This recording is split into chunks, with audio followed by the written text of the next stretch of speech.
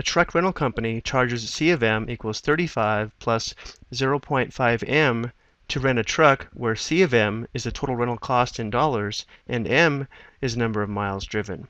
We're asked to determine the rate of change of the function and interpret their results, and then determine the initial value of the function and interpret the results. Well, because our function is a linear function, the rate of change is the same as the slope of the line, which in this case would be the coefficient of the m term. So the rate of change for our function is equal to 0.5 or 5 tenths. To interpret the results, it's usually helpful to write the rate of change as a fraction. So I'm going to go ahead and write this as 0.5 over 1. Now remember, slope normally is the ratio of the change of y to the change of x. Well, in this case, the change of y is actually the change in the function value or the change in cost. So this represents the change in cost in dollars. So I'm going to go ahead and put the units of dollars here, add a zero here. This is the change in cost.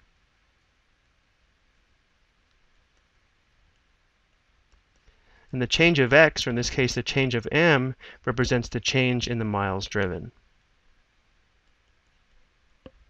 So to interpret this, because they're both positive, there'll be an increase of 50 cents in cost for every one mile driven. The total cost will increase 50 cents for every mile driven. Next, we're going to determine the initial value, which will be the function value when the input, or in this case m, is equal to 0. So c of 0 would just be 35 plus 0,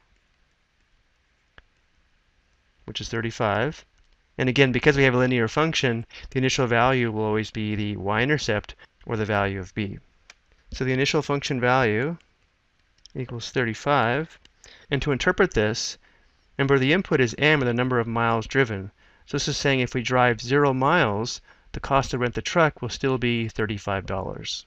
So we can say the cost to rent the truck without driving the truck is $35. This can also be called the fixed cost of running the truck, which means this cost here is not affected by the number of miles driven.